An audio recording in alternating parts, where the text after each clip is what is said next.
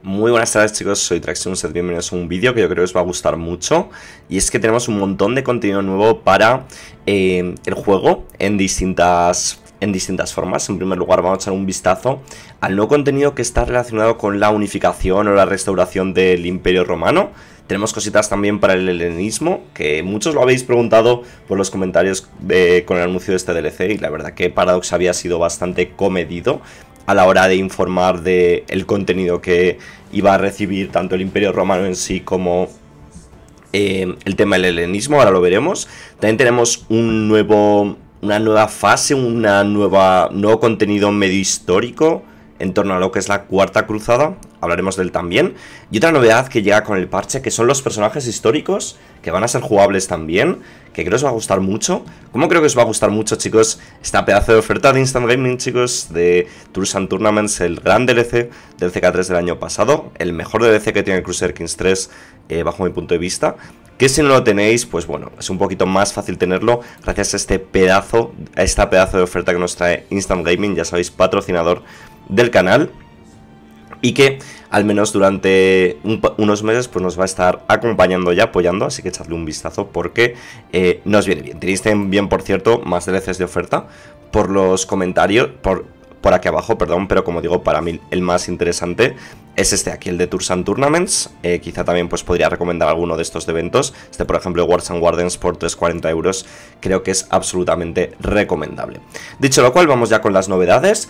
Nos hablan, por supuesto, de que aquí si queréis jugar con con el Imperio Romano. Hay un juego muy chulo de Paradox que actualizaron hace poco que se llama Imperator Rome.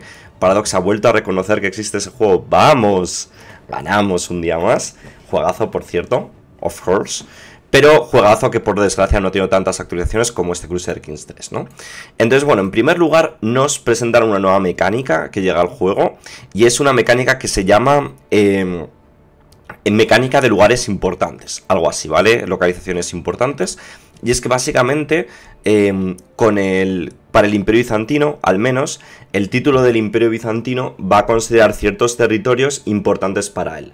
Lo cual permite esta nueva mecánica que cuando conquistemos o perdamos esos territorios importantes, salten eventos especiales o salte contenido especial em, enlazado con estos eventos, ¿no? Y en este caso, por ejemplo, tenemos aquí cuando conquistamos Túnez, Túnez es conquistado, perdón, Túnez es considerado un territorio importante para el Imperio Romano, así que si lo reconquistamos, pues nos saltará un evento especial hablándonos de la reconquista de Túnez. Fijaos que nos menciona cosas como, por ejemplo, antaño eh, los romanos controlaban las costas de Cartago, ¿no?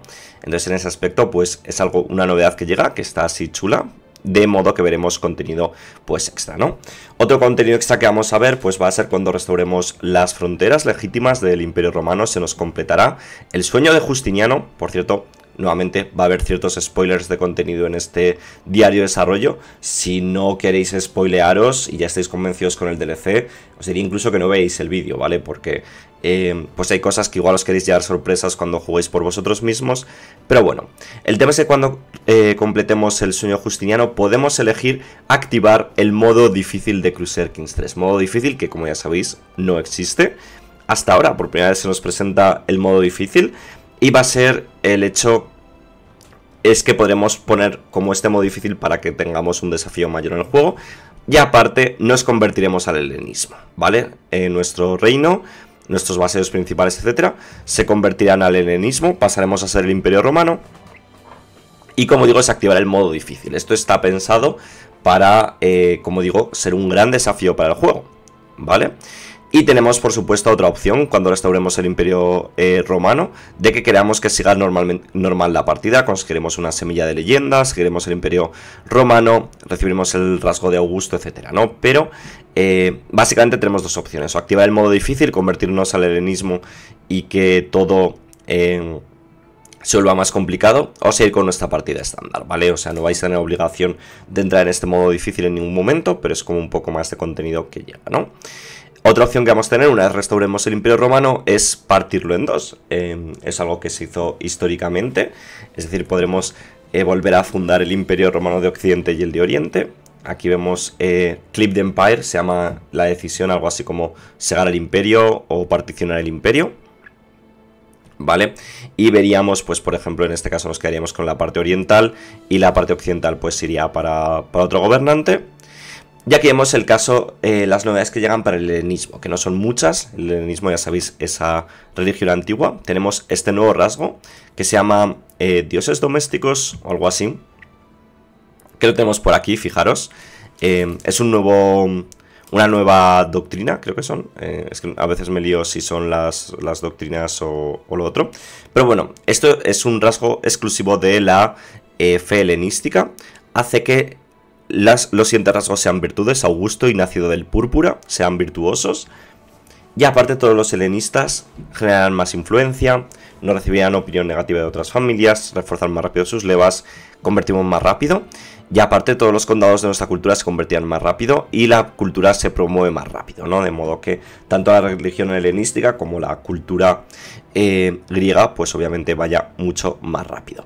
Y esto es un poco todo, todas las novedades que recibe el tema de la restauración del Imperio Romano. Nuevamente ya nos dijeron en su día que no iban a ser muchas cosas. Es cierto que no son muchas cosas, pero bueno, está bien de cara a que es algo que yo creo que vamos a hacer en todas nuestras partidas. Personalmente hubiera molado ver eh, más cosas al respecto, totalmente. Yo qué sé. Eh, pero bueno, supongo que el hecho, por ejemplo, de conquistar Roma con el Imperio Bizantino y que te salte un evento hablándote de la conquista de Roma, pues va a ser bastante épico. Y por supuesto restaurar el Imperio Romano y poder acceder de una manera natural al helenismo sin tener que hacer chetadas, sin tener que hacer guarradas, porque era una religión súper cara de restaurar, pues va a estar chulo también, ¿no? Y jugar con, con helenistas, pues yo creo que le va a dar como ese interés adicional a seguir con nuestra partida. Cosa que gana bastante eh, contenido, el tema de que sigamos con nuestras partidas a lo largo del juego. Recordad que, por ejemplo, una de las novedades que llegan con el parche es la aparición de los conquistadores, que irán apareciendo como personajes que tendrán el rasgo aquel de conquistador y fundarán grandes reinos o imperios, de modo que supondrán un, un poco un desafío para, para ti. Y luego tenemos también una novedad al poco empezar la partida, al menos en, la, en el inicio de 1178, que es la Cuarta Cruzada que no se va a llamar Cuarta Cruzada como tal en el Crusader Kings 3. ¿Y por qué no se va a llamar Cruzada como tal? O no se va a llamar Cuarta Cruzada. Pues porque eh, el tema es que va a existir contenido y en cuanto vaya saltándonos los eventos, etcétera, vamos a decir claramente, vale, esto es la Cuarta Cruzada. El tema es que, por cómo se te puede haber desarrollado la partida en Crusader Kings 3, igual es la séptima cruzada, igual es la segunda cruzada, etcétera, etcétera, para que me entendáis, ¿no? Entonces, en el caso del Crusader Kings 3, se va a llamar la cruzada dividida, Creo que tiene otro nombre también, pero la idea es un poco esa. Para los que no conozcáis un poco la historia de la Cuarta Cruzada, pues básicamente se convocó una cruzada, eh, se rejuntó la gente en Venecia, eh, no tenían, no les pagaban, dijeron vamos a invadir, si no me equivoco, primero un puerto, eh, el, el, puerto de Almata de Zara, invadieron ese puerto, y después no sé si es que el emperador bizantino no les dejaba pasar o algo así. El tema es que acabaron invadiendo y saqueando Constantinopla, ¿no? Una de las grandes tragedias de la historia y probablemente una de las mayores tragedias de la historia del, catolicismo. Ya sabéis, em, totalmente saqueada Constantinopla. Y lo peor no fue eso, sino que lo peor fue eh, que supuso la caída del Imperio Bizantino prácticamente, ¿no? Aún quedaron algunos restos del Imperio Bizantino que vemos, por supuesto, en, en el EU4, ¿no? En algunos pequeños feudos y por supuesto en, lo, que quedaba del imperio bizantino, pero la realidad es que se estableció un imperio latino que no duró mucho y la región se convirtió un poco en una eh, especie de mega guerra civil, por así decirlo, entre diversas facciones, eh, bizantinos asesinando bizantinos, tratando de hacerse con el poder, estaba por ahí Trebizonda también, etc. Hay documentales muy chulos sobre esto. Y el tema, por supuesto, es que allanó el camino pues, para que llegasen los otomanos ¿no? y, barrieran la zona. ¿no? Entonces, esto es una de las grandes tragedias. Y esto es un poco lo que eh, aspira a capturar esta nueva serie de eventos ¿no? y este nuevo contenido que llega al Crusader Kings 3. ¿no? Entonces, básicamente, em, en torno a las fechas, una vez hayamos iniciado en 1178, cuando se está acercando esa fecha, pues a uno de eh, a un gobernante católico.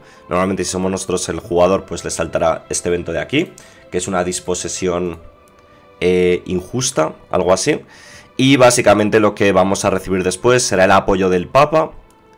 Aquí lo estáis viendo con un evento y recibiremos también un benefactor, ¿no? Alguien que nos va a financiar la cruzada. En este caso, pues es el Dogo de Venecia, normalmente sea el Dogo de Venecia, pero han dicho que pueden ser otros personajes que estén muy, muy forrados cuando nos puedan eh, saltar estos eventos. Se empezará a unir gente a nuestro bando, los herederos de Constantino, etcétera, etcétera, perdón. Y bueno, pues eh, básicamente tendremos un montón de tropas para acabar con el Imperio Bizantino. Eh, por supuesto, si el emperador bizantino consigue resistirse a los atacantes, todo esto terminará.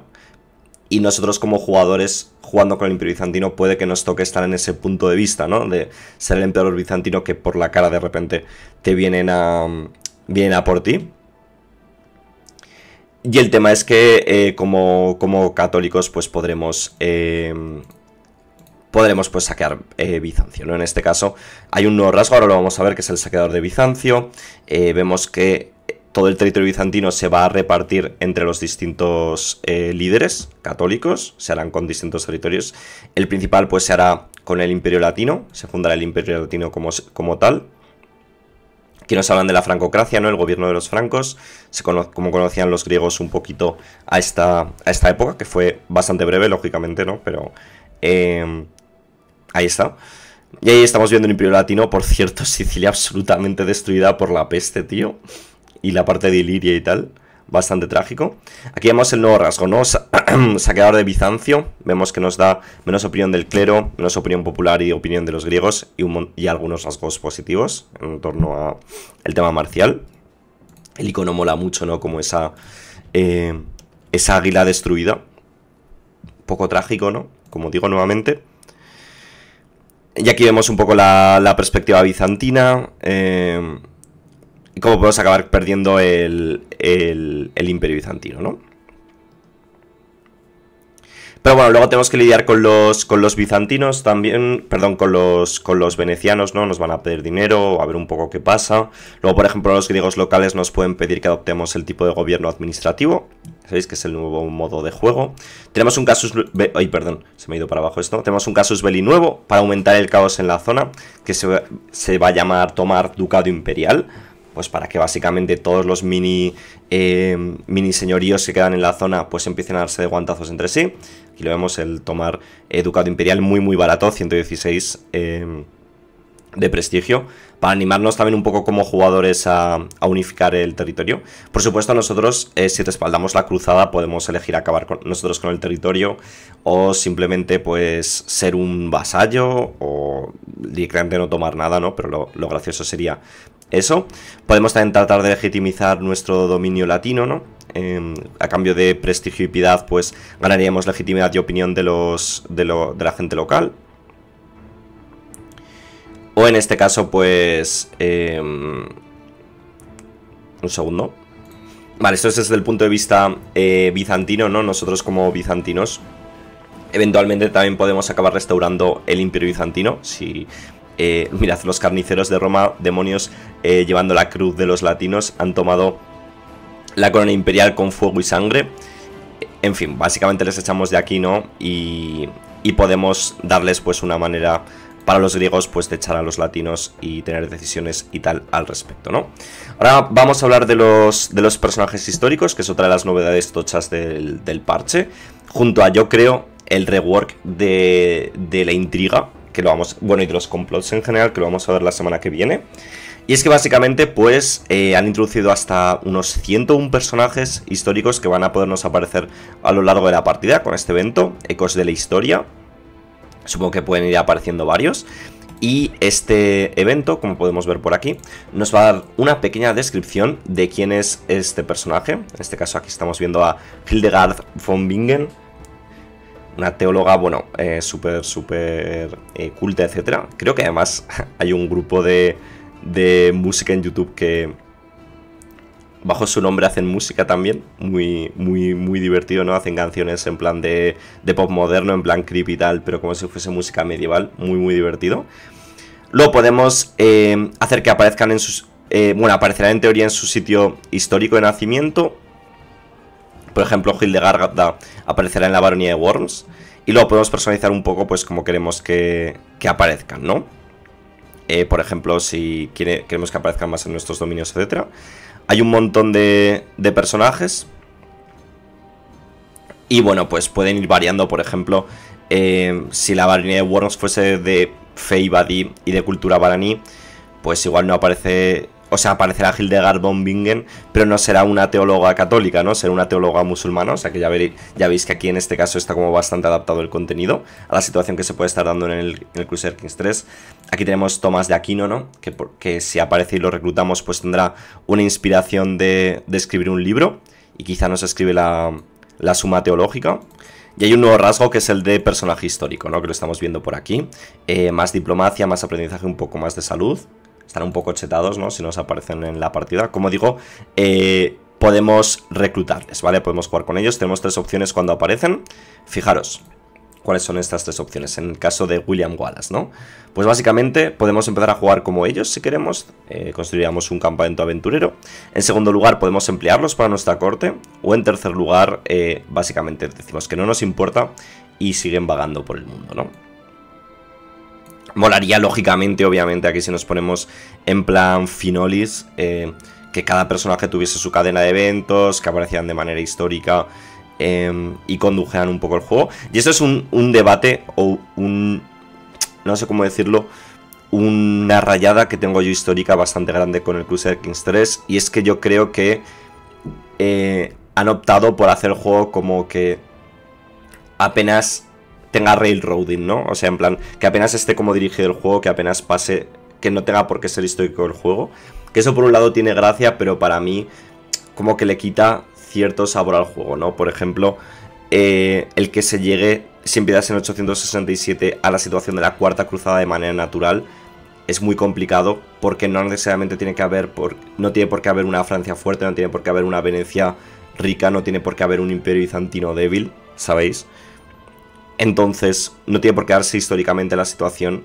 Y con esto un montón de cosas, ¿no? Un montón de, sucesos históricos de, la edad feudal. Porque básicamente han dicho que lo suyo es que el juego sea de manera natural. Que ese fue eh, la mentalidad también del Victoria 3. Y esa es una mentalidad que, por ejemplo, no la están teniendo con el EU5 o no la están teniendo con el...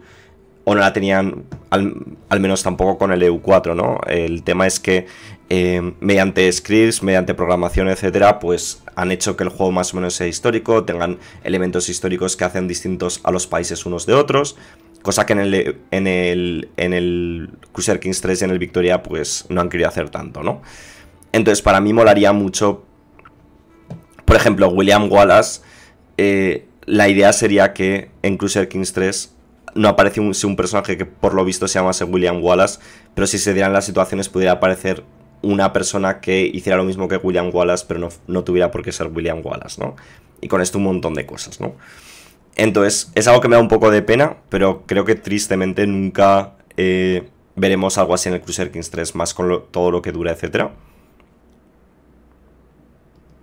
Pero bueno, también han tomado más cuidado en introducir personajes para Bizancio, porque eh, se han, eh, lógicamente, centrado el DLC en Bizancio. Aquí tenemos, por ejemplo, a Mikael eh, Celos, Joseph Tarcaniotes, y luego hay personajes por todo el mundo, ¿no? Omar Khayyam, Dante Alighieri, por, por supuesto, Guillermo de Ockham. Algunos pues vienen con, su, con sus libros, otros los van a escribir, tienen una, inspiración. Snorri Sturluson, ya vemos que hay personajes un poco por todo el mundo, ¿no? Hangar el, el, Salvaje, Nasreddin de Odja, John Orfanotrofos, etc. ¿no? Y aquí tenemos una lista entera que yo creo los que os pueden sonar un poco.